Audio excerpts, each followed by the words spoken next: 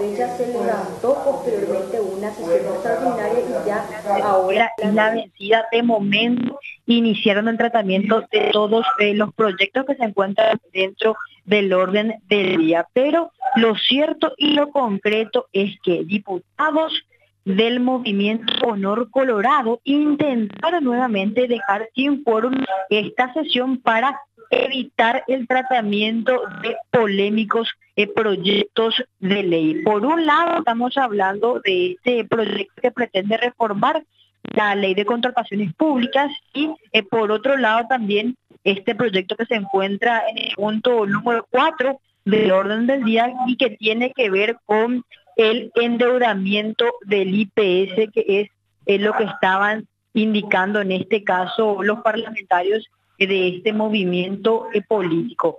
Ellos, eh, de hecho, se levantaron en un momento, se retiraron justamente para evitar el tratamiento de estos proyectos, pero eh, considerando que de todas formas se tuvo el número, el número necesario de parlamentarios presentes, volvieron a ingresar a la sala de sesiones para debatir los otros proyectos que se encuentran de antemano. Ahora, lo más probable que suceda es que nuevamente, una vez que se llegue a ese punto del orden del día, al número 4, ellos directamente se levanten para dejar sin quórum esta sesión. Pero escuchemos lo que refería al respecto el diputado Pedro Aliana y sobre todo las justificaciones que daban ellos para rechazar estas dos propuestas legislativas.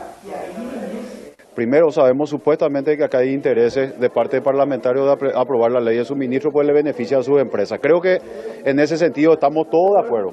La ley de suministro, hay demasiado interés de parte de algunos parlamentarios porque le favorece a las empresas de algunos parlamentarios, que para tratar de maquillar pusieron a nombre de terceros, pero siguen siendo los dueños, los propietarios de esas empresas que eh, dan almuerzo escolar, ¿verdad? O por lo menos que cobran por dar el almuerzo escolar. No sé si dan o no dan. De reforma de contrataciones públicas. Así mismo, de ley de suministros.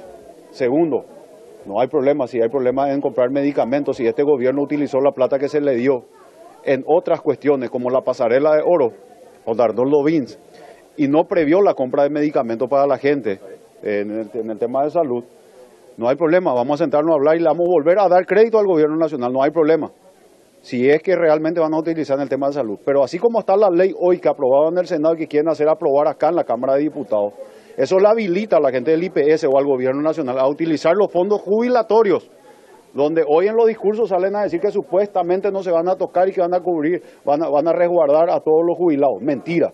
Así como está esta ley, le habilita a tocar los fondos jubilatorios del IPS para pagar supuestamente deudas de medicamentos.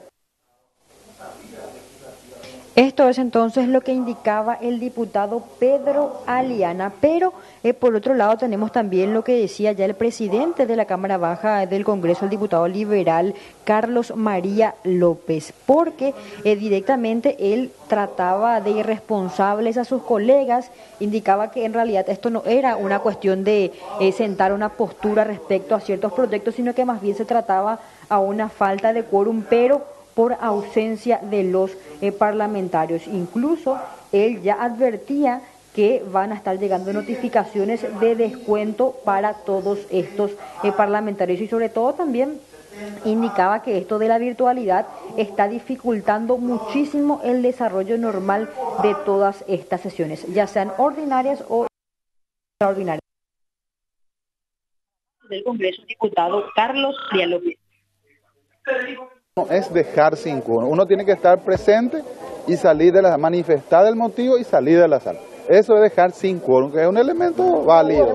Eh, pero no en esta manera de no presentarse en el horario indicado. ¿Y a qué se exponen para reiterar nuevamente? Bueno, primeramente las ausencias tienen, tienen un costo, ¿verdad? Que hay un descuento. Entonces, en ese sentido, vamos a actuar. Eh, estas situaciones que les compete a la nación tiene que ser bien eh, evaluado por la sociedad. Estamos en un momento electoral, yo no sé qué les pasa a los colegas. Que no se quejen cuando les lleguen los descuentos, esa es la advertencia. La verdad que sí, y eso fue lo que manifestó también. Prefiero que me descuente, me dijo uno. Y está bien. ¿De cuántos descuentos estamos hablando, diputado? 600 mil, Ivanía, por, por, cada vez que falta. Por cada vez que falta. Así es. es el momento de cambiar el reglamento y exigir ya la presencialidad, porque están todavía de forma virtual. Justamente ese es un grave problema porque uno tiene que estar fijándose en el monitor y también a la gente que es una cosa... Y, a- y justamente recién le dije a un funcionario que venía y le pedía algo al, al secretario, al técnico, y le dije, por favor, déjale que trabaje.